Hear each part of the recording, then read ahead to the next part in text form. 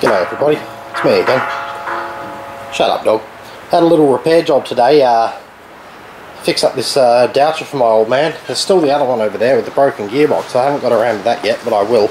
Um, I've kind of got to, uh, how would you say it, um, psych myself up to pull that box apart. but anyway, back to the subject at hand. Um, this is a Deutscher lawnmower. You've probably seen one in my videos before. 26 inch slasher or 660 millimeter as the new ones are. This is actually a newer one. This is a H660. Um, they have a 13 horsepower electric start Honda and uh, this one wasn't electric starting and it had no spark. Um, only took me a very short time to figure out how to pull it apart of course. Um, I bought a brand new battery from Goodchild's, um, chucked that in there. Now the starter wasn't working at first. It was making noises like it was being driven by a pulse width modulation and it was turning very slowly. Uh, I thought, oh yeah, that's going to be shagged, um, but I pulled it off and it's like brand new inside. Um, just the bushes just seem to be a bit, well, they're carbon. I should say bushes. I should say brushes, but the, the, the brushes in there were all covered in kind of like a, a, a copper coating off the, uh, the commutator, and it kind of for some reason wasn't contacting too well. I've cleaned all the, the weird copper stuff off, and now it works fine. I, I think it may have been there originally to help conduct. I'm not sure, but either way, it's turning over quite nicely now, no problems at all.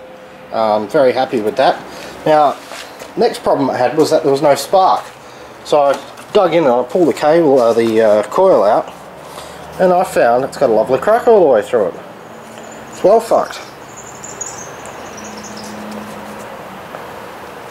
Kind of reminds me of a little flyback transformer actually. Well I know an ignition coil is just a flyback but we're using the magnetism from the magnet in the uh, flywheel there to uh, create a magnetic field in, in, in this uh, iron core which then uh, excites the coils inside when the field collapses. So that's interesting. I never thought they'd be designed like that but they are. Anyway, I found a replacement another machine that I had out the back. I'm going to test this one. I don't know if it's good or any, any good or not.